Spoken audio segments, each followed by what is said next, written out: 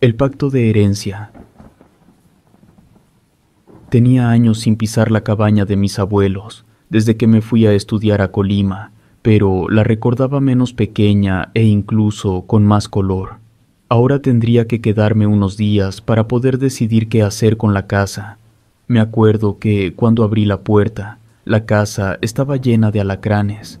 Me esperaba que estuviera sucia, llena de polvo y hasta cucarachas o alguna plaga así, pero los alacranes me parecían algo extraño. Según lo que sabía de la zona, no había de esos animales, al menos no recuerdo tampoco haberlos visto cuando era niño. Imaginé que lo mejor sería preguntar a los vecinos si ellos también tenían esa plaga y cómo la mantenían a raya porque no quería ser picado mientras dormía. Los alacranes se paseaban libres y los muebles estaban cubiertos con las sábanas de la cama de mis abuelos. Lo supe porque reconocí los estampados de flores. No parecía como si tuviera ocho años deshabitada. Haciendo cuentas, tenía como veinte años que no me paraba por ahí, y estaba igual la entrada al pueblo, todo de tierra y con alambrado. Como ya había muerto mi abuelo y mi abuela, pensé que me iba a sentir mal, que iba a sentir mucha nostalgia, pero no me sentía así. Era como ir a la casa de unos extraños. No recordaba por qué mis papás habían dejado de visitar a mis abuelos, pero después de cumplir 14 años jamás pisamos aquel pueblo de nuevo. Una cabaña peleada por muchos, cosa que pienso es una estupidez. Pero mi familia es elitista y como no somos ricos me sorprende que tenga tanto peso una vieja casa. Lo que había hecho la tradición de ser la casa principal era que ahí habían venido al mundo mis tatarabuelos e incluso mi papá. Era una reliquia familiar, más que solo una casa. Cuando murió mi tío Tomás, el actual dueño de la casa, pensé que iba a ser para mi primo. La tradición era mantener la línea de herederos con el mismo apellido como dueños de la casa. La herencia total de la casa principal era el terreno junto con la casita, todo cuanto estuviera dentro de la casa. Como me parecía una tontería, pensé que lo mejor era desmantelar esa casa, vender el terreno y guardar el dinero para mandarme a arreglar una buena casa en donde vivo actualmente. Tengo que decir que quien fuera el heredero de la casa tenía el derecho absoluto de mandar a hacer lo que quisiera con la herencia. Cuando me dijo mi mamá que mi tío había muerto, no me sorprendió. Lo que verdaderamente me impresionó mucho fue que mi tío me heredara todo. También vi las caras de mi familia al enterarse de eso al ir al sepelio. Imagino que porque me parezco a mi abuelo demasiado en lo físico, mi tío creyó que era buena idea, pero de todas maneras no me sentía a gusto con la herencia, eso no me pertenecía. Así fue que tomé mis maletas, pedí unas vacaciones en el trabajo y me fui a la casa de mi primo que vivía en Zacatecas para decirle que le dejaba las escrituras, que las cambiáramos a su nombre, pero no quiso. Muy tranquilo me dijo que fuera a ver cómo estaba la casa y si quería que me deshiciera de ella. Cuando le pregunté a mi mamá si era posible tirar todo, vender el terreno y hacer algo nuevo con el dinero, ella me dijo que como heredero podía hacer o deshacer porque ahora era el dueño. Me sorprendió lo que dijo, creo que supo en carne viva lo mucho que sufrió mi papá ahí por las decisiones de mi abuelo. Sinceramente me daba miedo. Hoy me da risa cómo es que las cosas se acomodan para que el destino llegue de la manera menos imaginada. A mí me gusta el dinero, por eso me había hecho abogado, así que estaba revisando si era real el valor de la casa o su contenido, porque no me interesaba mantener en pie esa reliquia pagando impuestos por nada. Lo verdaderamente importante, lo que hizo que todo diera el giro de 180 grados, fue el paquete que me llegó el segundo día de estar en la casa. Increíblemente me llegó un paquete hasta ahí, donde hasta la luz fallaba y no había mucha señal de teléfono llegó una caja pequeña con una libreta de cuero, una pluma y el joyero donde guardaban un anillo con la inicial familiar. Revisé el anillo e hice planes para venderlo. Yo estaba convencido de no dejar heredero ni nombrar alguno tras morir. Dejé el anillo y me dediqué a buscar por todos lados donde podrían haber ocultado una caja fuerte. Pasé horas revolviendo cosas, encontrando papeles, recuerdos de la niñez de muchos de mis familiares y demás cosas que había en toda la casa. Puras cosas con valor sentimental. Incluso había un cofre que pertenecía a mi abuela, donde había fotografías de todos cuando éramos niños. Tenía, curiosamente, las caras de todos con un círculo. Solo la foto de Daniel, un primo, estaba tachonada y eso se me hizo espeluznante. Seguí en la búsqueda hasta que bajó el sol y no podía ver claramente. Recuerdo que fui por una de las veladoras que encontré en la cocina y raramente en ese cajón solo había velas. Me senté a hacer recuento de lo que encontré, pero primero revisé mi celular. No tenía señal hasta el quinto día de estar ahí. En resumidas cuentas, encontré fotografías con caras rayoneadas de varias generaciones atrás. También los cordones umbilicales de todos estaban en un jarrón, donde cada cordón estaba en una bolsa con un listón rojo y el nombre de a quién pertenecía. Hasta el fondo del jarrón había tierra con semillas de varias cosas que no pude identificar. Había trenzas o mechones de cabellos de mis bisabuelas, puestos en los vestiditos de algunas muñecas que adornaban uno de los muebles de un cuarto, al que destinaban como dormitorio para niñas. En el otro cuarto, el de los niños, había restos de animales en varios frascos de vidrio y botellas viejas. En la sala no había fotografías, las que recordaba no estaban, solo se había quedado un escudo como de armas, con una O enorme en medio.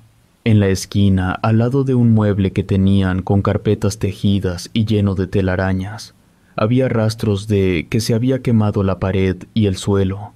El olor de animal venía de ahí, Imagino que aminoró cuando ventilé el lugar, pero no desapareció del todo. Al final revisé la cocina. Ahí estaba lo más raro de todo.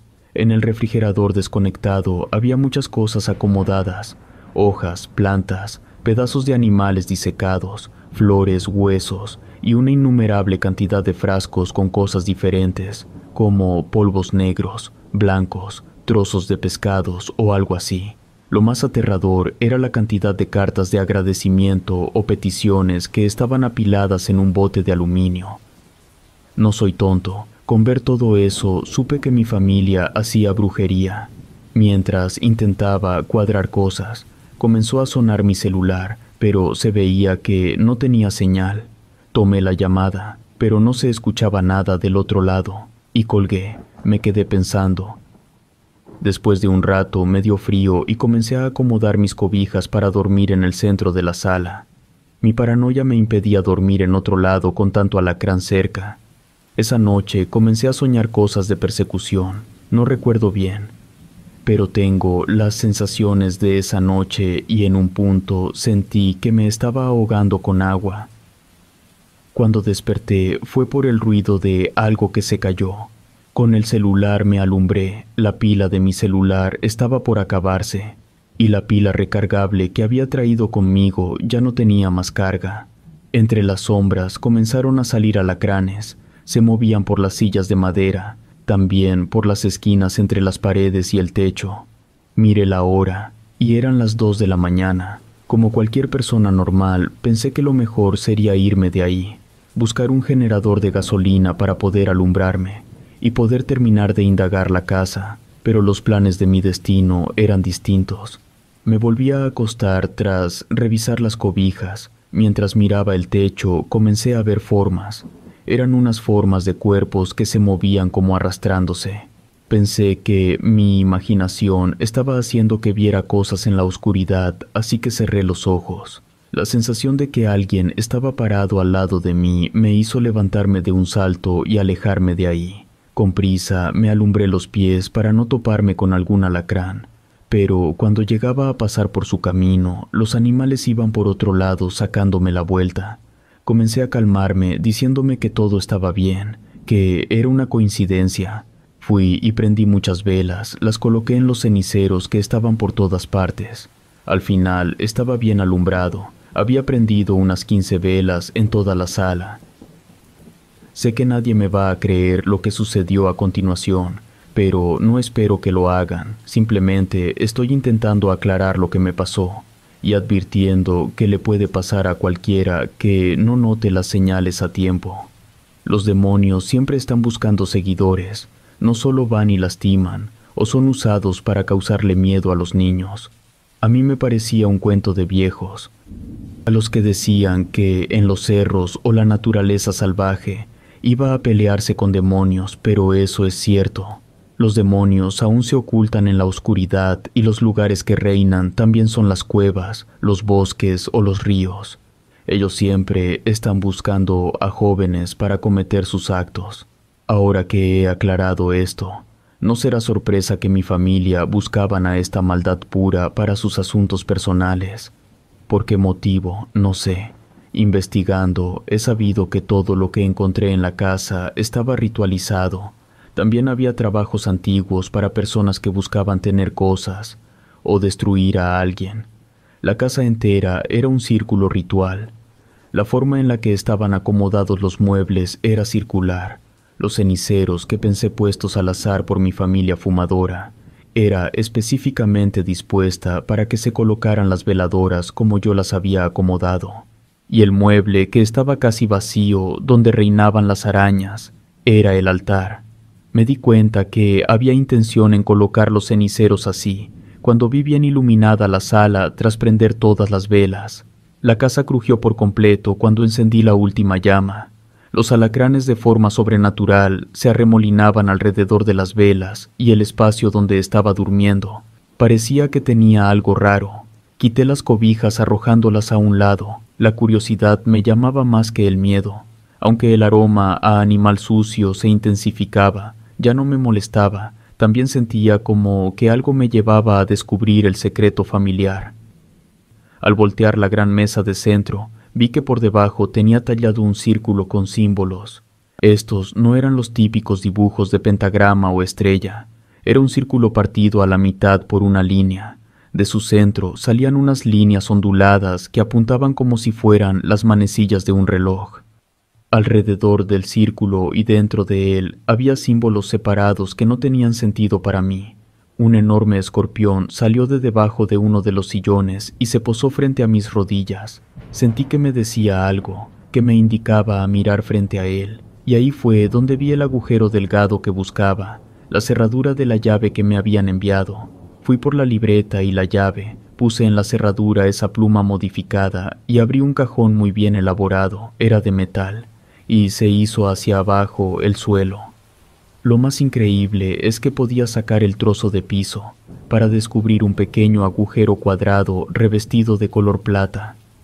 Esa caja fuerte escondía un pedazo de papel doblado y una bolsa muy vieja de cuero que se veía manchada.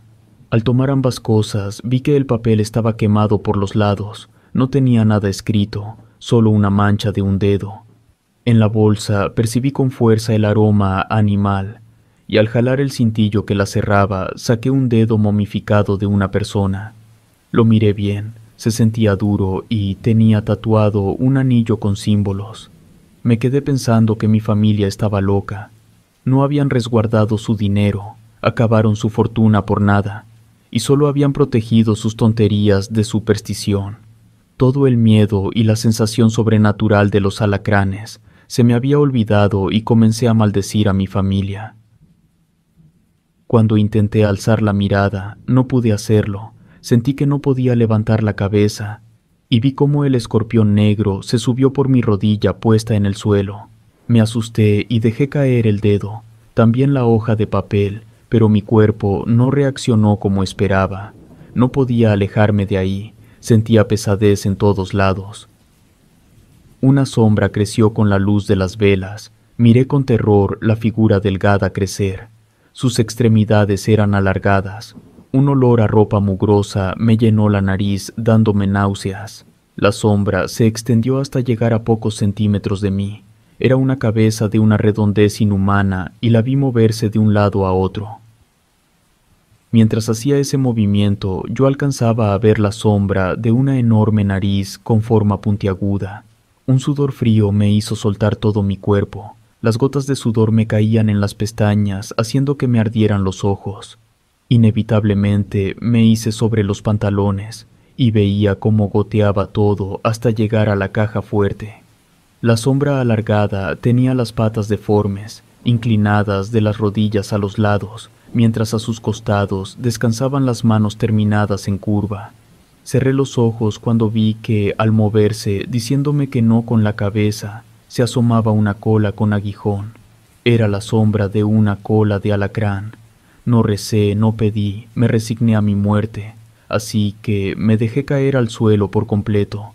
Me sorprendió que pude moverme, incluso emití un sonido por la boca. Me di cuenta que ya podía hablar bien. El escorpión negro que se colocó en mi espalda parecía pesar diez kilos. Era un demonio. Ahora sí que creía en las supersticiones, en el demonio y todo lo que significaba. Le pedí que me perdonara la vida y escuché algo como una risa, pero que parecía la tos de un anciano muy enfermo, mezclada con el gruñido de algún perro.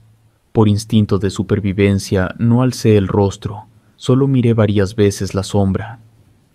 Cayó a mi lado la libreta justamente abierta con los nombres de la familia. Rodó un pedazo de carbón a mis rodillas. Miré de reojo la libreta y con un hilo de voz pregunté qué era lo que quería. En mi mente pasaron como imágenes. El diablo no me contestó, solo vi imágenes de lo que quería de una casa nueva con mis papás viviendo ahí, del departamento que quería para llegar pronto al trabajo, del puesto que había buscado como asociado. Instintivamente lo supe, me estaba ofreciendo todo eso. Desgraciadamente, también vi a una mujer de mi trabajo cargando a un bebé. Ella y yo habíamos estado saliendo en una relación abierta desde hacía un año.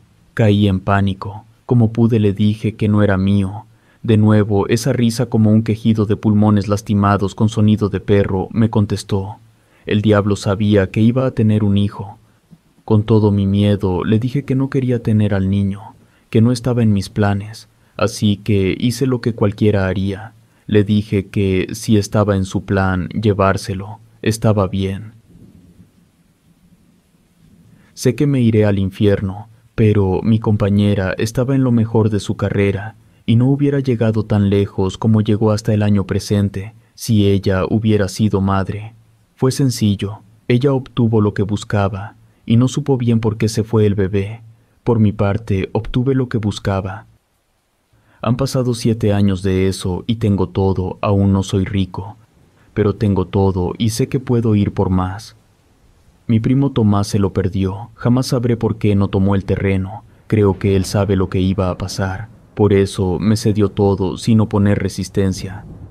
Él es casado, tiene dos hijas y mucho que perder. Hoy sé cosas de mi familia que me es imposible revelar. La libreta reveló sus secretos escritos con la tinta de la sangre de mis ancestros.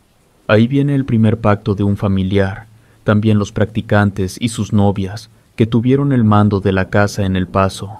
Todo está registrado para que el Señor cumpla nuestros deseos familiares pero también para que nosotros cumplamos nuestra parte. No pido misericordia, al final voy a aprovechar un poco de esta buena suerte. Ahora entiendo por qué mucha de mi familia es pobre, no se atrevieron a cumplir con el pacto. Pero espero disfrutar lo que pueda. Al final creo que esto muere conmigo y sigo haciendo planes para derrumbar la casa. Quizás pueda ganarle al demonio en algún momento. Estoy listo. También tengo toda la intención de que esto muera conmigo para poder salvarme. Quizás haciendo eso pueda ganarme el no condenarme. Relato escrito y adaptado por Patricia González.